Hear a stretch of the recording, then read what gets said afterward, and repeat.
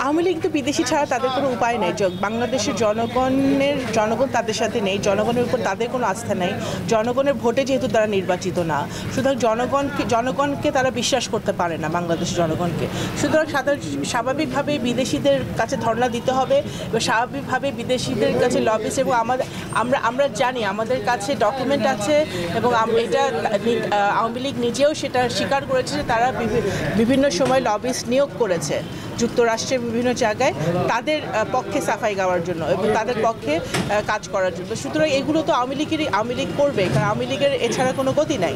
এবং বাংলাদেশ জাতীয়তাবাদী দল, জনগণের দল, জনগণের জনগণের জন্য কাজ করে বাংলাদেশ জাতীয়তাবাদী দল জনগণের শক্তিকে সাথে নিয়ে বিএনপি রাষ্ট্রের দায়িত্বে আসতে চায়।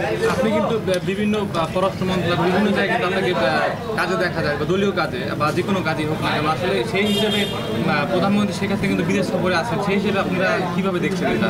বা কেন গেছেন বা কি কি পাবেন প্রধানমন্ত্রী কেন গেছে সেটা তো উনি বলতে পারেন সেটা ওনার অথবা ওনার পররাষ্ট্র মন্ত্রীরা বলতে পারবেন আমি তো সেটা বলতে পারব না কিন্তু যেটা আমরা যতটুকু দেখি দেশের নাগরিক হিসেবে সেটা হচ্ছে যে উনি দেখাতে চাচ্ছেন যে আন্তর্জাতিকভাবে ওনার গ্রহণযোগ্যতা আছে।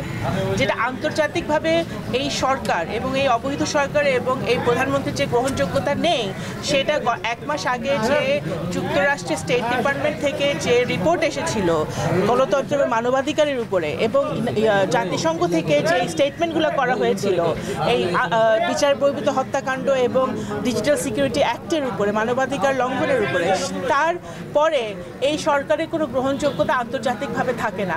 এর সবচেয়ে বড় প্রমাণ হলো যদি আন্তর্জাতিকভাবে ওদের গ্রহণযোগ্যতা থাকতো, তাহলে যেই আসে বিদেশ থেকে, সেই যখন শেখ হাসিনার সাথে প্রধানমন্ত্রীর সাথে দেখা করে, প্রথম প্রশ্নই কিন্তু নির্বাচন নিয়ে করে। এটাই এই সরকারের উপরে একটা চপেটা খাত এটা তাদের বোঝা উচিত। জায়গা থেকে আমাদের লোকজনকে তুলে নেওয়া হয়েছে। এরা জামিনের প্রক্রিয়ায় আছে। মাত্র ঈদের পরে কোর্ট খোলার পরে এদের জামিনের প্রক্রিয়া আছে। তো আমরা তো আন্দোলন ধরপাকড়ের মধ্যে কিন্তু বিএনপি আছে অলরেডি সারা বাংলাদেশে। তো সুতরাং কর্মসূচি আমাদের শিগগিরই আসবে। আপনারা অপেক্ষা করতে হবে এবং সেটা আমরা, আমাদের বক্তব্যে বিভিন্নজন বিভিন্ন রকম কথাই বলে। কিন্তু আমাদের কর্মসূচি হবে সবসময় আমার বিএনপি কর্মসূচি সারা বাংলাদেশে। আপনারা দেখেছেন, লক্ষ লক্ষ লোকের সমাবেশ আমরা করেছি, শান্তিপূর্ণ সমাবেশ, শান্তিপূর্ণ র্যালি শান্তিপূর্ণ মিছিল গণ অবস্থানগুলো শান্তিপূর্ণ আমাদের শান্তিপূর্ণ প্রোগ্রামকে অশান্তিতে পরিণত করেছে বর্তমান মানে আওয়ামী সরকার তাদের পুলিশ র্যাব দিয়ে। কিন্তু আমাদের যাই আমরা কর্মসূচি দিব বিএনপি দেশনায়ক তারেক রহমানের নেতৃত্বে সেই কর্মসূচিগুলো শান্তিপূর্ণ হবে। এবং আমরা খুবই শিগগিরই সেই কর্মসূচিগুলো আসবে। আরেকটি বিষয় জানতে চাই যে আমরা দেখেছি বিএনপির কোনো নেতাকর্মী যদি দেশের বাইরে যায় কোনো বিশেষ কারণে যে কোনো কারণে তখন এটা মানে বিপরীত দল কিন্তু বলা হয় যে আসলে লবিং বা লবিস্ট করতে যাচ্ছে। হ্যাঁ। কিন্তু আওয়ামী লীগ যখন দেশের বাইরে যাচ্ছে তখন সেক্ষেত্রে আপনাদের মানে মন্তব্যটা কেমন থাকে সর্বশেষ একটু জানতে চাচ্ছিলাম যে আপনি তো বিএনপির সাংগঠনিক দায়িত্বে আছেন তো সারা দেশের কার্যক্রম কীভাবে আগাচ্ছে এবং এখন দলের পরিস্থিতিটা কেমন? আমাদের দশটি বিভাগে আন্দোলন সংগ্রামের জন্য তৈরি হচ্ছে, তৈরি আছে। আপনারা দেখেছেন দশটি বিভাগে গত বছর আমরা খুব সফলভাবে গণসমাবেশ করেছি।